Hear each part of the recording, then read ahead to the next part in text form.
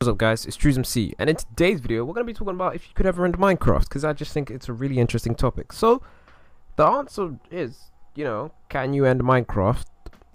Yes and no. So you might be wondering, what do you mean yes and no? That's not really a conventional answer, but it's pretty much the truth. So Minecraft is one of those games where, you know, you can choose to go on the conventional path or you can go and do whatever you want because basically everyone knows well not everyone knows but if you didn't know there's a thing you can do called the race to the end. Or not the race to the end but you can complete the technical game well you just um, get the ender eyes of ender and put them in that portal and then transfer to the end. And then you defeat the ender dragon and then you get this whole bunch of xp um, and then you've pretty much ended the game because apparently that is the goal of Minecraft, or you can set your own goals, which is what most people do. Most people don't tend to, you know, play Minecraft, um, just survive, um, go to the end, and then you know stop playing. Most people have their own goals. They either you know work on a project. They either, um, let's say for example.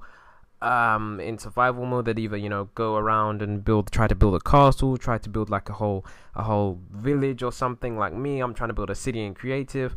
Um, a lot of people have their own goals.